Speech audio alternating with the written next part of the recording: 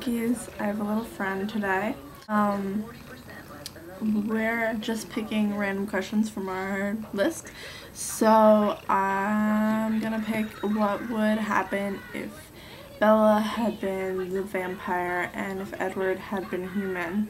And um, I think the series would have been a lot shorter because Bella really knows what she wants and Edward is, has a lot of like conflicting um, emotions and like a lot of um, baggage with him that makes this decision so much harder. So I think the series would have been a lot shorter. Bella would have been like, I want you, and just would have been like, and then he would have been a vampire, and she would have had Edward. Um, maybe it'd be a little longer because I feel like um, since Edward didn't have like the whole shieldy thing and stuff, he would take a while to be in control of himself.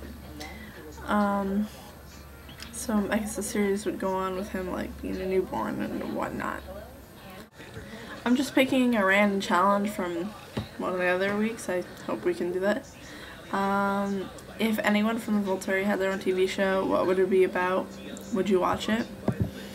Um, I feel like Aro, the way I read like the book Aro, the way um, I imagined him, he would have a show kind of like What Not to Wear, because I imagine him being really flamboyant, which I know he's not, but like, with the clapping thing, like, I go through this every time I talk about Aro, book Aro.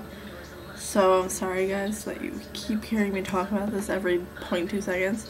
But um yeah, I feel like he'd have a show like what not to wear and he would just be like, okay, and he'd like give people these makeovers because I bet you inside he he's born cosmetologist, makeover, stylist person. And I would watch like, I'm watching What Not to Wear right now and I love What Not to Wear and it'd be like that. It's the vampire version. Like, you can't beat that vampire What Not to Wear. I like it. Alright, well, um, that's my little quick video this week. So, bye bye bye bye bye.